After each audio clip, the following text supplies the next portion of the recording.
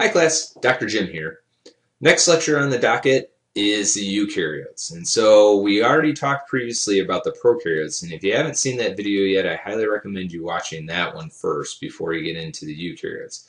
It's not that it's that you need the one with the other, but I think it will make a lot of points a little bit more understanding for you to kind of get more out of it in that because we talked about the prokaryotes being cells without a nucleus and then today we're focusing in on is the eukaryotes.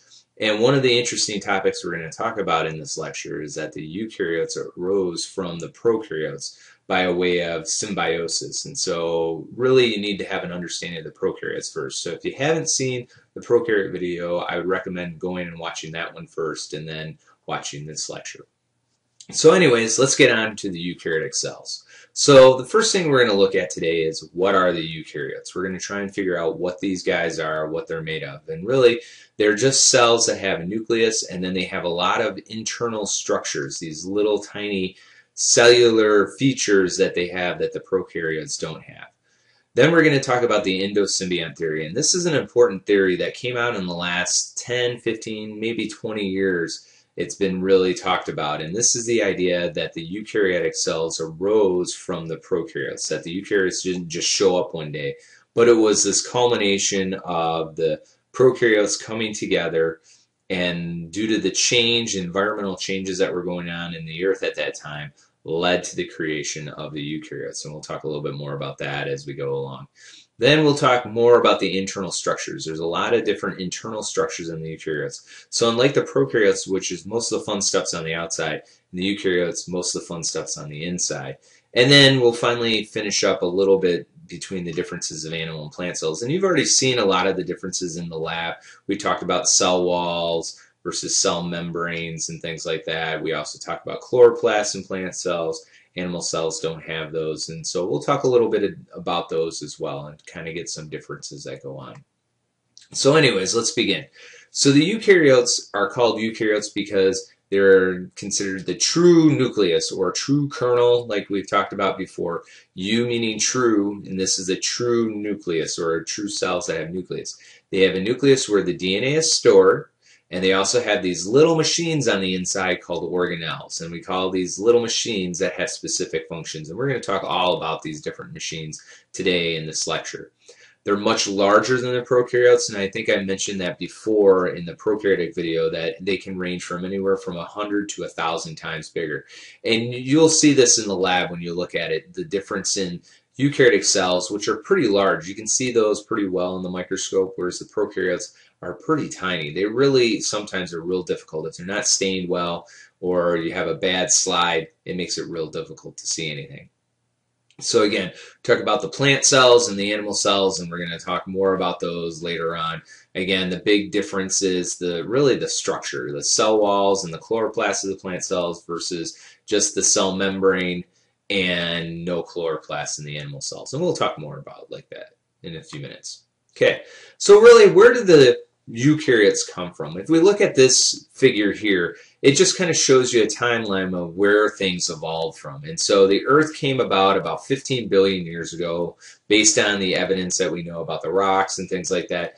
And then it took a long, long time, about anywhere from 4 billion to 3.5 billion years ago, that the prokaryotes first appeared. So it took, you know, a matter of almost 10 billion years for 10 to 11 billion years for all those organic molecules, one, to be made, and then eventually come into becoming cells. And then when that happened, the prokaryotes ruled the earth for really about two and a half billion years because they lasted and we didn't see any eukaryotes until about the time about 1.75 to 1.5 billion years. And so really the prokaryotes have been around for a long, long time where the eukaryotes have appeared in, in the life of the earth a very short period of time. If you continue to look, it's kind of interesting to see. If you look at this one, you can see that humans appeared really at the end of the scale.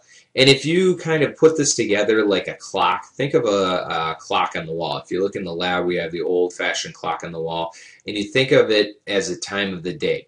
Let's say the Earth formed at midnight on Sunday morning. So you're going out on a party on Saturday night, and midnight hits, the Earth forms that at midnight. and you go all the way around 12 hours, all the way around to almost 24 hours. If you go to 11:59 and 59 seconds of Sunday night into Monday morning, that's when you'd finally see humans appearing on the earth. So it is a really small amount of time. So it takes a lot of time, not only to make the organic molecules, but then to make the prokaryotes, and then the eukaryotes come along, and then evolution as it goes along in that steps. Okay, so I keep talking about this endosymbiont theory, and that's the idea where prokaryotes arose and formed a eukaryotic cell. And really the reason for that was due to environmental change. When you think about the Earth at the time that the prokaryotes ruled the Earth, there was no oxygen in the atmosphere. There wasn't anything making oxygen. There wasn't anything breathing oxygen at that time. And so the atmosphere was a very anoxygen environment. It had a lot of nitrogen, had a lot of carbon dioxide, and some other things in there. And really the prokaryotes thrived, the anaerobic ones that could use other sources for electron transport that, that were there. However, as photosynthesis got going, one of the byproducts of photosynthesis is oxygen. And due to this photosynthesis, this process of converting sunlight into energy, you get this release of oxygen. And due to all this, these photosynthetic bacteria that had these pigments actually started releasing a ton of oxygen in the atmosphere. And this changed how the environment became. Oxygen is toxic to those anaerobic bacteria, and in order for those guys to survive, they needed new mechanisms in order to deal with the oxygen. And so that's kind of where they believe that this happened. And so what they think it would happen is that these large anaerobic bacteria that were thriving, you know, thriving around the world at that time started swallowing up these little tiny anaerobic bacteria, and they became what is known as a symbiont of the cell. And we think of this as the mitochondria, which use oxygen to make energy, and then also the chloroplasts that are responsible for photosynthesis. So not only did they take the ones that could use oxygen, but also have the little energy generating ones that could use the sun. And that kind of made the plant and animal cells. And we'll talk more about that in a little bit. But that's kind of the idea behind it. And if you watch this video that I have linked up and on my YouTube channel, you really will see what I'm talking about in the, in this situation. And I think it will, it's it cartoonish, but it, I think it's a good video to just kind of show you the, what I was talking about in that past video. Now, what is some evidence that we have? Well, we can look at the mitochondria itself, and it looks very similar to some of the bacteria that we see today in the, in the, in the world. And so we can say that the mitochondria look very similar to some of the bacteria that we find. The mitochondria that we have in our cells have DNA and ribosomes that are very similar to what are found in bacteria. So they have the 70S ribosomes and they have DNA that's very similar to what we find in bacteria. You look at mitochondria, they replicate independently of the cell and they replicate much like a bacteria does by binary fission. And so that's another one that we look at. And then also the size and shape. If you look at the size and the shape of a mitochondria, it really looks like a tiny bacteria cell that's been taken in by another cell. And so for all this evidence, membranes, DNA, ribosomes, mitochondria, replication, and the size and shape, that gives us a lot of evidence that this theory must be or really pretty much true. And we could say the same thing about chloroplasts. If you look at chloroplasts and kind of compare it, we see very similar things. And so that's where we get this evidence for this endosymbiosis, that they work together and it actually became eukaryotic cells. So let's talk about the inside structure of the eukaryotic cells. So on the outside, we'll, we'll, talk a little bit about plant cell walls and things like that, but really most of the fun stuff of the eukaryotic cells is on the inside, and we have to begin with the nucleus. The nucleus is where the DNA and all your genes are held. The blueprints for your cell are held inside that nucleus. It's surrounded by a bilipid membrane, and it has these little holes, which will make a lot more sense in a couple weeks when we start talking about RNA and DNA, and RNA has to get in and out of the cell, or in and out of the nucleus, I should say. And so these holes that are in the in the nucleus are required for the RNA. But this area is a situation or like a capital for the cell. I call it like the brain of the cell. This is where all the blueprints, all the instructions to for that cell to do what it needs to do is found in here. And that's the nucleus. A second thing that all eukaryotic cells have are ribosomes. And we've talked about ribosomes already in the prokaryotes. And ribosomes are very similar to what we see in the prokaryotes, but they're a little bit bigger in the in the eukaryotes. They're a little bit larger instead of the 70s that we see in prokaryotes. These are actually 80s, so they're a little bit bigger, a little bit heavier. And again, they have the same function as they do in prokaryotes. They make the proteins. And so they're really important for that structure function, making proteins in that cell. So they get the information from the RNA, the DNA that's in the nucleus, and then the next step, it goes to RNA, and then finally proteins. And we're going to talk more about the ribosomes when we get into DNA transcription translation, and that will make a lot more sense. But just know that all cells have ribosomes, and it's outside the nucleus. Okay? Now we can start talking about the organelles. And like I mentioned before, organelles are these little machines that are found inside of all eukaryotic cells. There's really two types. They're the ones that are based on membranes or attached to membranes and really attached to the nuclear membrane. And this includes the endoplasmic reticulum, or ER for short, and then the Golgi apparatus. And these are used for packaging. And we'll talk more about these in just a minute. The other type of organelles that we see in eukaryotic cells are the energy related. Now, all cells have mitochondria.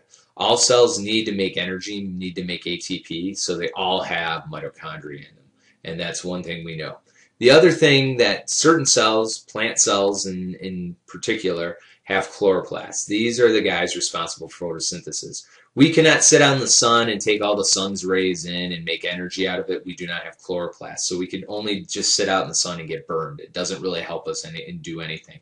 But in plant cells, they have those cells. They're green. They absorb the energy and make and, or absorb the sunlight, make the energy for the plant. And so the plant doesn't have to eat. So those are the two different types of organelles.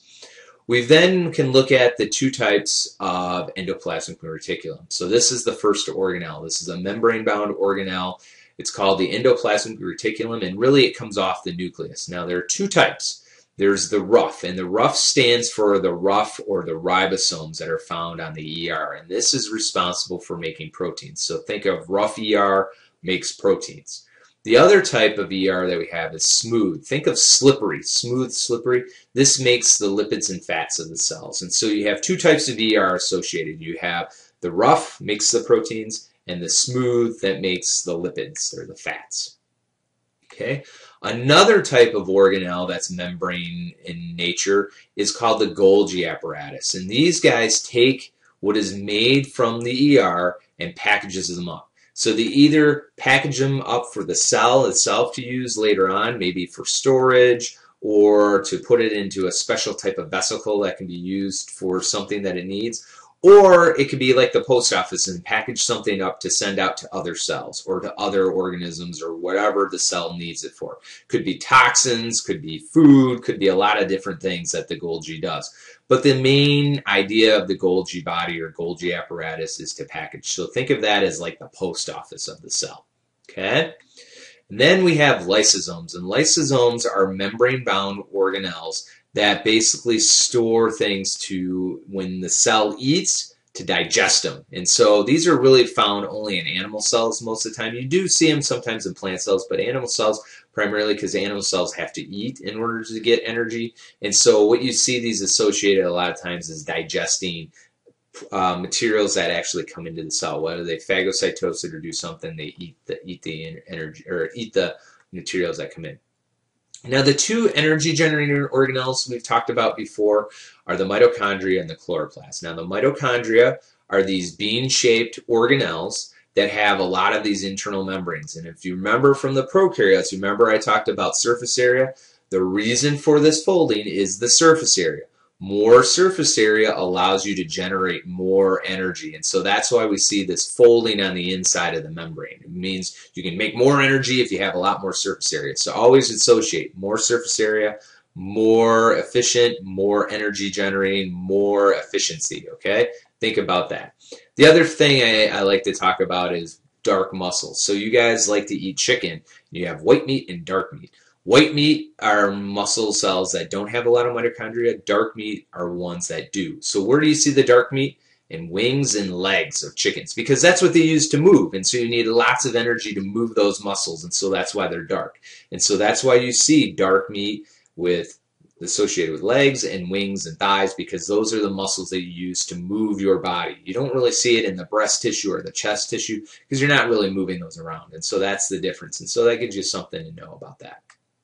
Hey, the other generating organelle is chloroplasts, and chloroplasts are responsible for generating and absorbing sunlight and turning it into ATP, and or actually turning in ATP and glucose. And we're going to talk more about this. I think uh, Jill is going to mention this more in her lectures in the coming weeks. But right now, we wanted you to know at least about that the chloroplasts are found only in plants and algae, and so they're the energy generating where they take in the sun and convert it into sugar. And we'll talk more about that when we get to photosynthesis in a couple weeks. Okay. Now, if you look at the animal cells, animal cells lack the cell wall. That's the biggest thing. If you want to talk about the difference between plants and animals, the biggest thing, missing a cell wall in animal cells and no chloroplasts. And that's really the same. The other thing is, is that animal cells tend to move. And so we're going to talk a little bit about the movement of these cells real quick here, about the cilia and about the flagella that animal cells have. Now, the two types of locomotion that eukaryotes have are flagella and the cilia.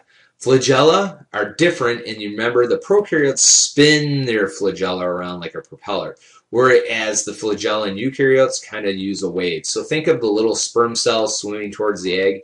That's how flagella move in eukaryotes. All eukaryotes do that. And the other thing that eukaryote cells have are cilia. Cilia are hair-like structures that like to wave in the same direction. So they use this thing, this rhythmic beating of their hair to move things. So they can use it for movement, they can use it for filtering, they can use it for feeding. And so they have a lot of different uh, aspects with that. Really where we see this in us is in our in our trachea. We have these cilia that move the things out. And what happens is during the middle of the night, all the stuff that you're breathing in during the day that get trapped in your lungs get pushed out of your cilia in your trachea and then swallowed and then you lose it down down into your belly. And so that's one of the ways that we use as a defense mechanism. And so that's the cilia allowing us to move these things. Now if you really want to see how things move and again eukaryotic cells move again I have a nice little video. It's only about one to two minutes long that allows you to see how eukaryotic flagella and cilia move. I think it's a really good idea just to get an idea. See the, some of the differences between that. And you can even compare, go back and forth between the prokaryotes and eukaryotes and see if there's any differences that you can notice between those things. Okay. Another thing that animal cells have are these centrioles, and centrioles are real important for splitting the cell. And we're going to get into cell reproduction here in another couple of weeks when we talk about genetics and cell division, mitosis and meiosis. And centrioles are really important for animal cells to split. They need something to kind of give them an anchor to pull their cells apart, and that's what centrioles are. And we'll talk more about these in chapter 9 when we get up to it, when we get into mitosis and meiosis. So hold that thought until then, but centrioles are there. Now in plant cells, plant cells, like I said, the difference between plants and animals, the biggest difference is the cell wall. It gives us its structure, the brick-like structure that you see in plant cells. And then the other thing is the chloroplast. So think of those two things. Plant cells, cell walls, chloroplast. Animal cells, no cell wall, no chloroplast. Okay? Think of those two things.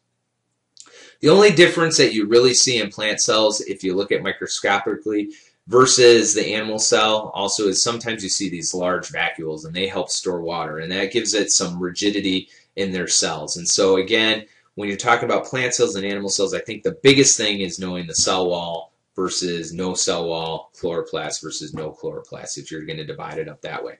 But we do see these vacuoles in plant cells as well along with centrioles in animal cells and those are some other subtle differences that you might see as well Okay, so to summarize this lecture, we're already to the end. The endosymbiont theory is again the idea that prokaryotes arose to eukaryotes. So the prokaryotes came together to work in symbiosis together to be able to tough it out in the new environment that was created in the earth. Now, and then we also looked at the organelles of the eukaryotes. So remember, there's some that are membrane-like. These include the ER, which make proteins and lipids, or yeah, proteins and lipids.